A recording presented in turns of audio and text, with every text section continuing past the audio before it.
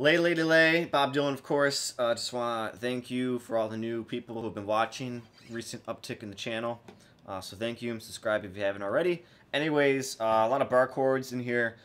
We'll have the full story from Wikipedia in the description, but a little bit. Uh, just love the uh, the drums and uh, fun story. Kris Kristofferson of the Highwaymen, you know, famous country singer nowadays. Um, back then, he was a janitor at the studio where this has been recorded.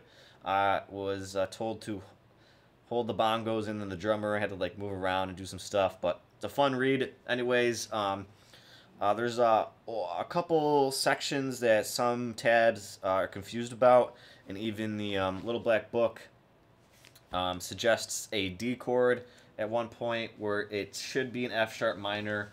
Um, confirmed by me using the ear, and this book has it correctly as well. A few other tabs have it correct as well.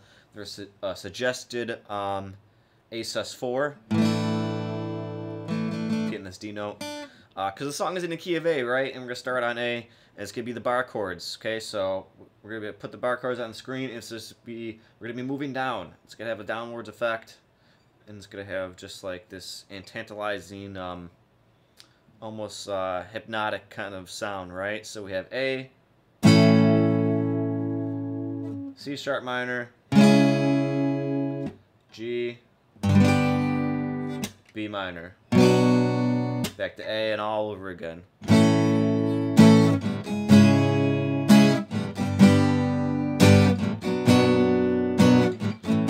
Right? Going down. Look at my hand shape. The same. Stays in the same formation, just moving down a few uh, a string when going to those minor chords. Okay. Uh, we will need an E major, so uh, coming to um, what this book calls the verse. You know, whatever colors you have in your mind.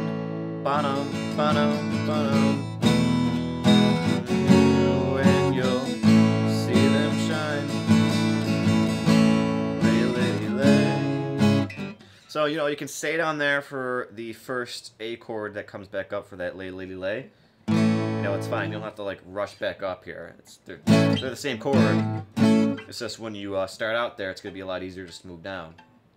But when that um, E comes in, whatever colors you have in your mind, that's where the A sus4 comes in. That da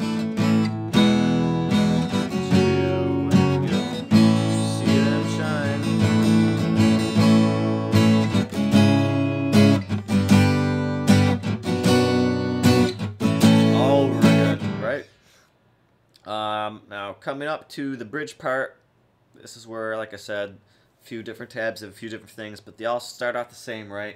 It's going to be C sharp minor starting out. Why wait any longer for the world to begin? And then same. You can have your cake, and this is where people sometimes get it wrong. It's not going to be very prominent. It's not going to be um, loud but the bass note is there. It's, it's gonna move down to that B. So C sharp, you can have your cake, and eat it too.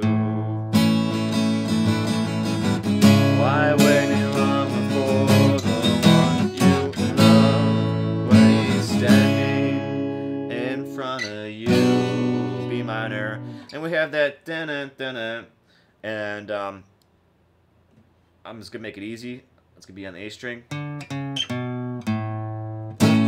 right? It's gonna be five, four, five, four, two.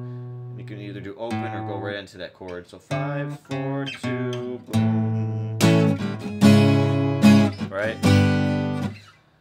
Um, if that's the end of the bridge. Uh, -dun -dun boom. All right, I'm just gonna make it simple. You know. Uh, there's gonna be a little outro where he's actually climbing up instead of going down with the bar chords, right? So it's climbing up now. It's going to be A, B minor this way, C sharp minor this way, D this way, back to the A. So again, the outro is...